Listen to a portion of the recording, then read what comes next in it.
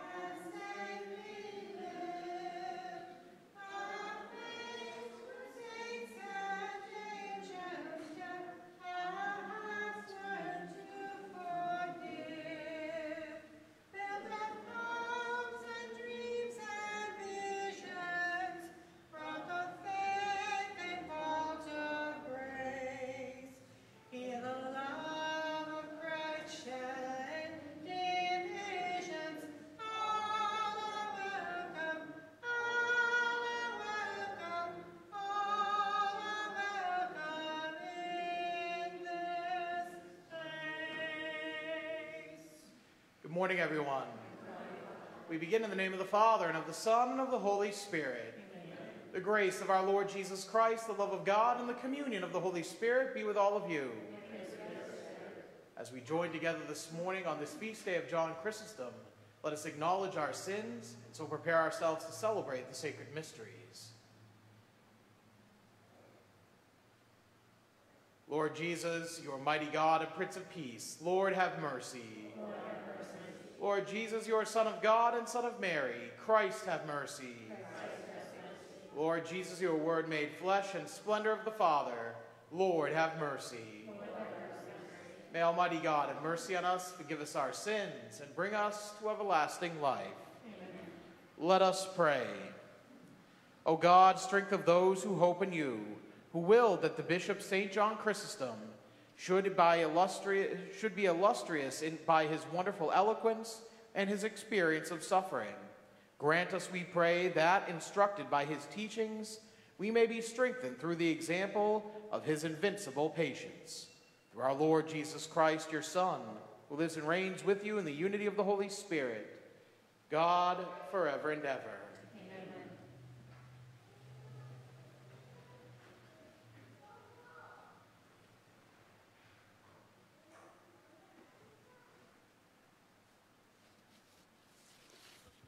A reading from the first letter of St. Paul to Timothy.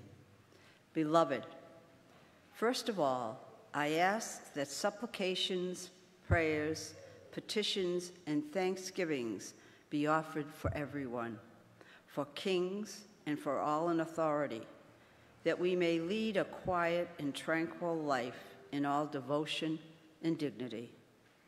This is good and pleasing to God our Savior, who wills everyone to be saved and to come to knowledge of the truth.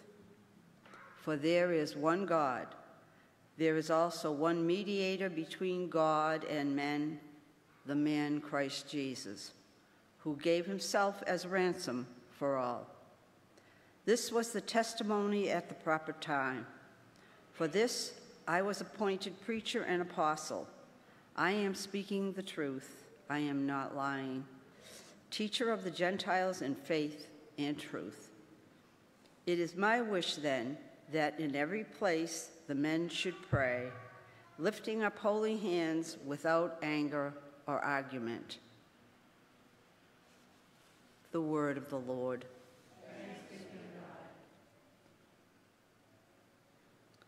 Blessed be the Lord, for he has heard my prayer. Blessed be the Lord, for he has heard my prayer. Hear the sound of my pleading when I cry to you, lifting up my hands toward your holy shrine.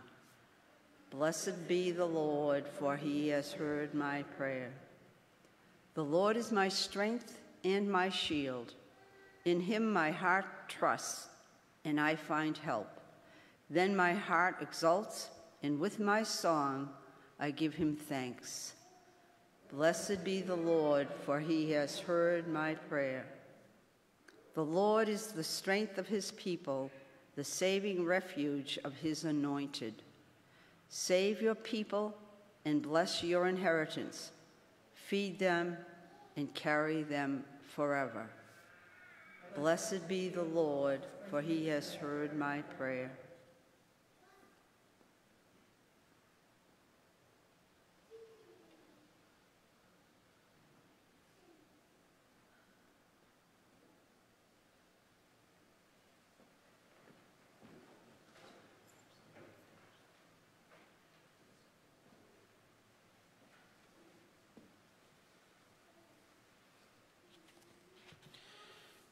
Alleluia, Alleluia, Alleluia, Alleluia, Alleluia, Alleluia. God so loved the world that he gave his only begotten Son so that everyone who believes in him might have eternal life. Alleluia, Alleluia, Alleluia. The Lord be with you. A reading from the Holy Gospel according to Luke. When Jesus had finished all his words to the people, he entered Capernaum. A centurion there had a slave who was ill and about to die, and he was valuable to him. When he heard about Jesus, he sent elders of the Jews to him, asking him to come and save the life of his slave. They approached Jesus and strongly urged him to come, saying, He deserves to have you do this for him, for he loves our nation, and he built the synagogue for us. And Jesus went with them, and when he was only a short distance from the house, the centurion sent friends to tell him, Lord, do not trouble yourself, for I am not worthy to have you enter under my roof. Therefore, I did not consider myself worthy to come to you, but say the word, and let my servant be healed. For I, too, am a person subject to authority, with soldiers subject to me. And I say to one, Go, and he goes, and to another, Come here, and he comes. And to my slave, do this, and he does it. When Jesus heard this, he was amazed at him, and turning, said to the crowd following him, I tell you, not even in Israel have I found such faith. When the messengers returned to the house, they found the slave in good health. The Gospel of the Lord.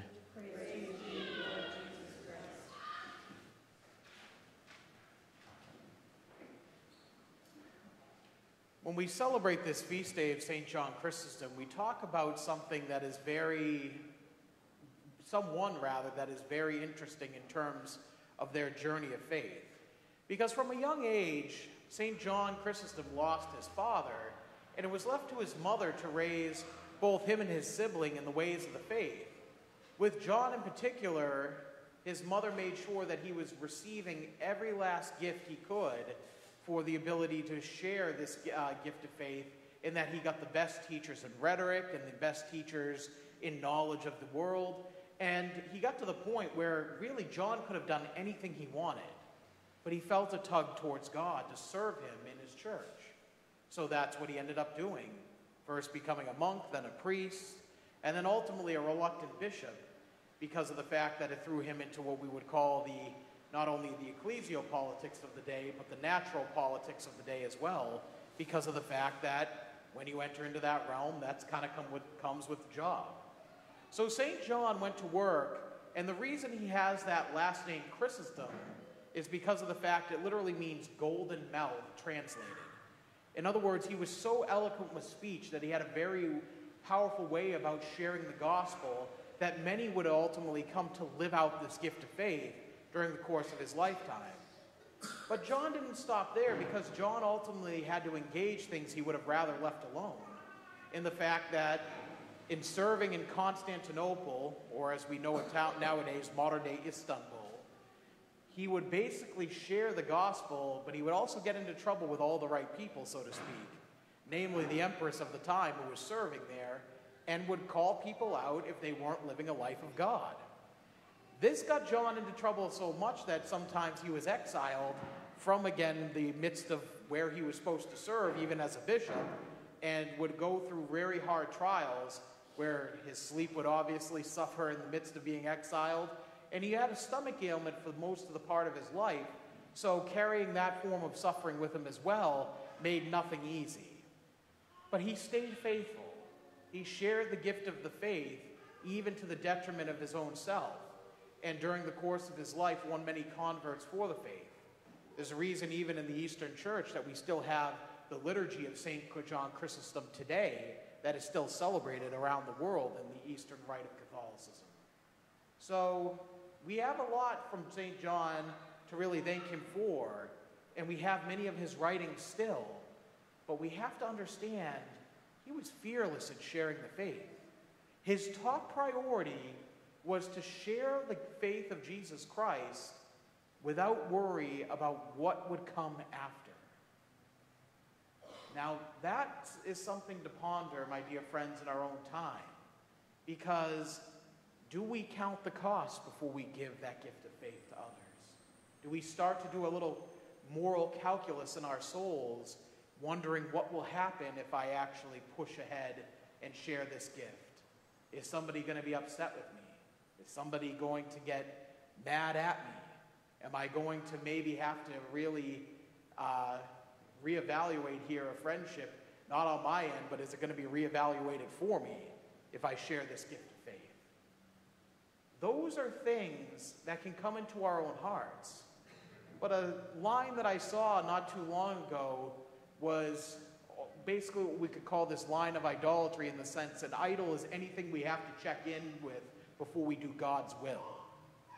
It's something to ponder is if we're grabbing onto things that are not God's will, so much so that when He asks us to do something, we have to check with this thing before we engage. He wants to bring our hearts in full, not the 50 or 60 or 70 or 80 percent, not even 90 or 95 percent or 99. He wants our whole hearts. And to live out of that way of faith means, again, we have to challenge at times, or even allow ourselves to be challenged at times as we go on this journey. So, with all that in mind, we ask for St. John's intercession this morning as we pray together. St. John Chrysostom, pray for us.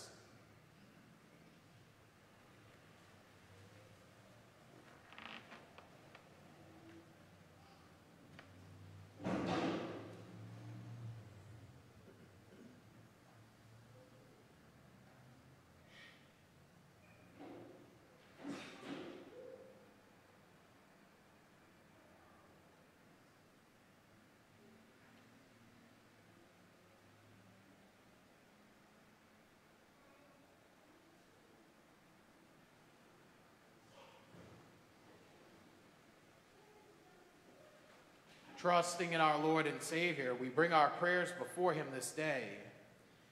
For mutual respect and care among, pe- among peoples, we pray to the Lord.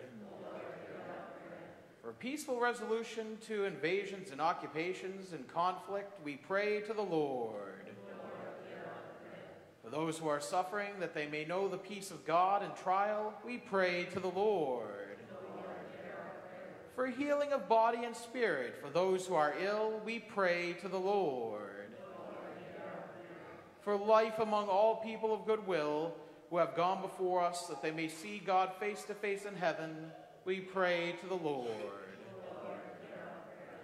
And as we remember Mary Bailey in the prayer of this liturgy, let us also offer up our own prayers to the Lord in the silence of our own hearts.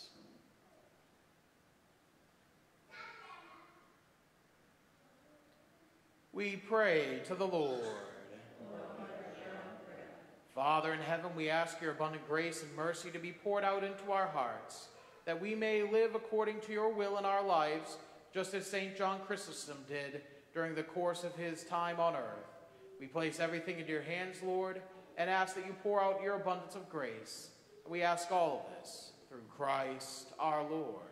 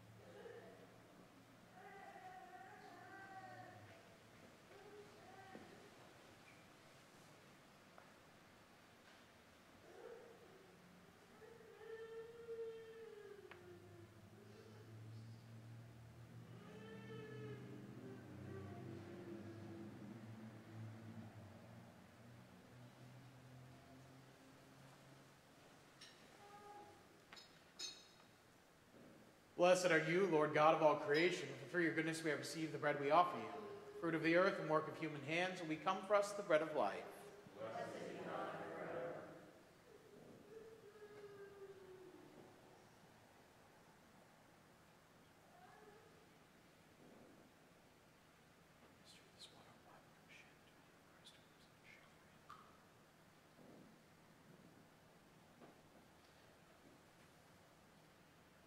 Blessed are you, Lord God of all creation, for through your goodness we have received the wine we offer you.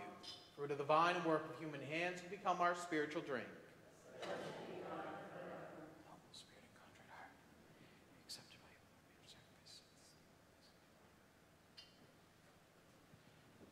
Lord, wash away my iniquity. Cleanse me from all my sins. Pray, brothers and sisters, that my sacrifice and yours may be acceptable to God, the Almighty Father.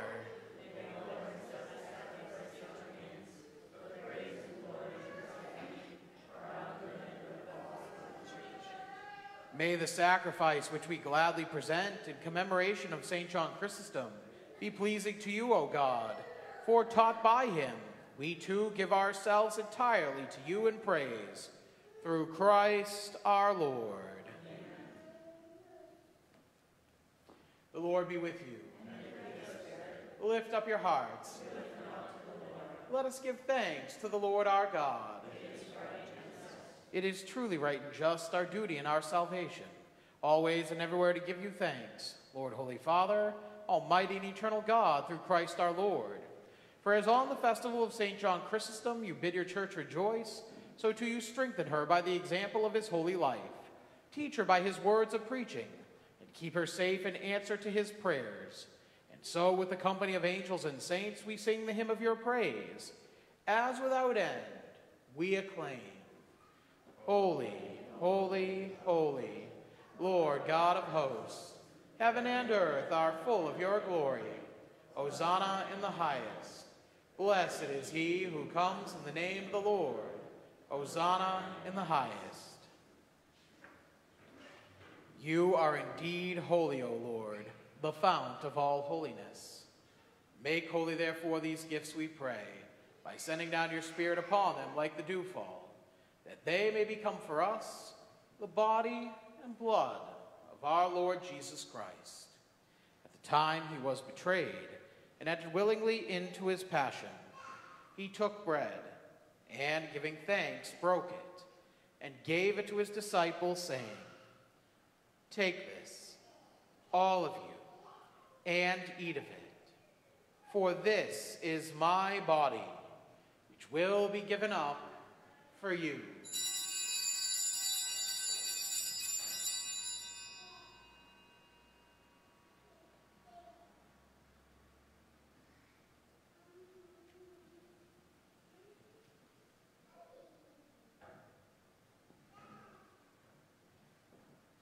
In a similar way, when supper was ended, he took the chalice, and once more giving thanks, he gave it to his disciples, saying, Take this, all of you, and drink from it. For this is the chalice of my blood, the blood of the new and eternal covenant, which will be poured out for you and for many for the forgiveness of sins. Do this memory of me.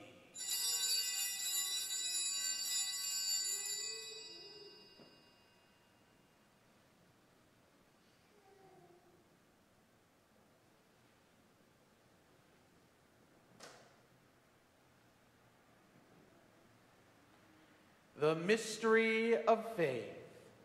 Save us, Savior of the world, for by your cross and resurrection you have set us free.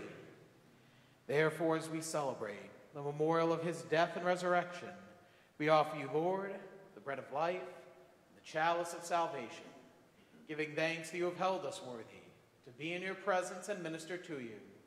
Humbly we pray that partaking of the body and blood of Christ, we may be gathered into one by the Holy Spirit.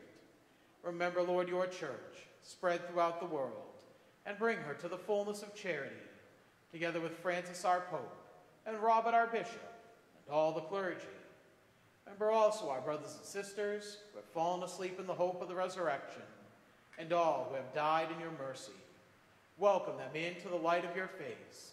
Have mercy on us all, we pray, of the Blessed Virgin Mary, Mother of God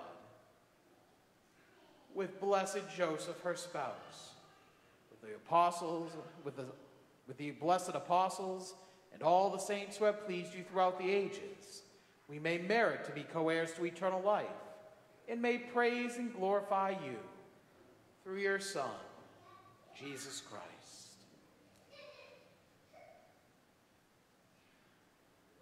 Through him, and with him, and in him, O God, Almighty Father, in the unity of the Holy Spirit.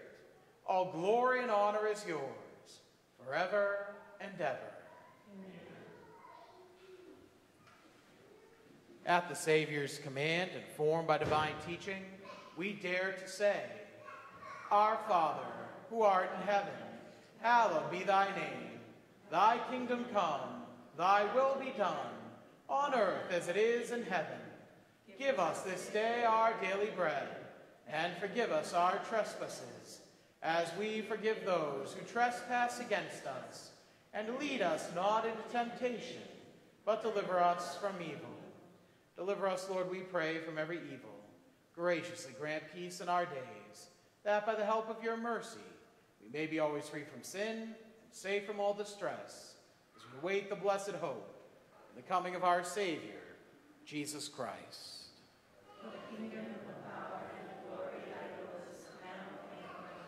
Lord Jesus Christ, who said to your apostles, Peace I leave you, my peace I give you. Look not on our sins, but on the faith of your church, and graciously grant her peace and unity in accordance with your will, who live and reign forever and ever. Amen. Peace of the Lord be with you always. Let us offer to one another a sign of peace.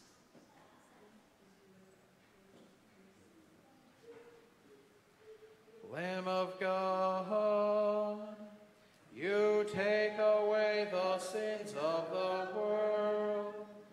Have mercy on us. Lamb of God, you take away the sins of the world. Have mercy on us. Lamb of God, you take away the sins of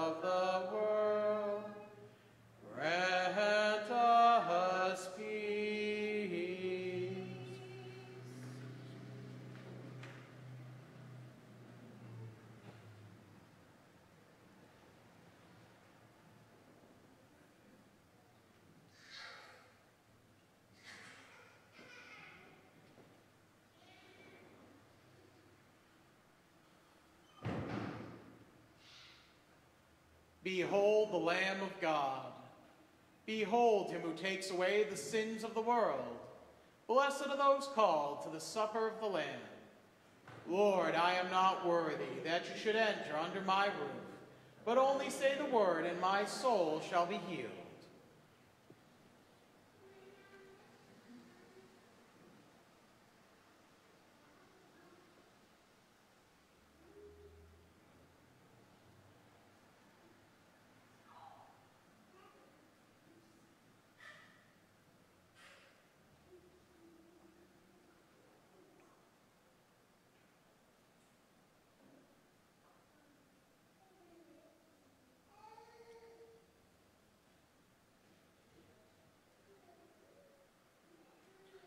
The communion antiphon. We proclaim Christ crucified, Christ the power of God and the wisdom of God. And we pray this prayer of spiritual communion. My Jesus, I believe that you are present in the most holy sacrament. I love you above all things, and I desire to receive you into my soul. Since I cannot at this moment receive you sacramentally, come at least spiritually into my heart. I embrace you as if you were already there. Unite myself wholly to you. Never permit me to be separated from you. Amen.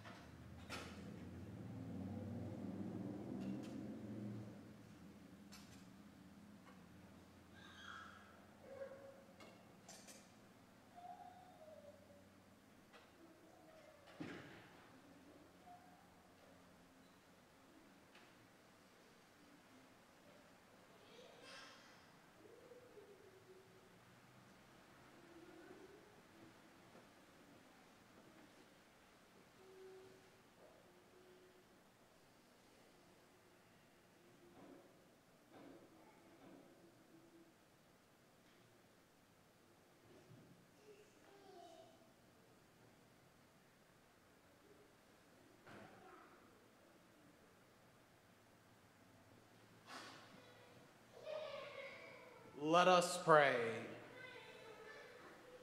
Grant, O merciful God, that these mysteries we have received as we commemorate St. John Chrysostom may confirm us in your love and enable us to be faithful in confessing your truth. Through Christ our Lord. We now pray together the prayer of St. Michael. St. Michael, the archangel, defend us in battle. Be our protection against the wickedness and snares of the devil. May God rebuke him, we humbly pray. And do thou, Prince of the heavenly host, by the power of God, cast into hell Satan and all the evil spirits who prowl about the world, seeking the ruin of souls. Amen. The Lord be with you. May Almighty God bless you in the name of the Father, and of the Son, and of the Holy Spirit. Go forth, the Mass is ended. Have a great day, everyone. Our recessional hymn is number 547, 547. Glory and praise to our God.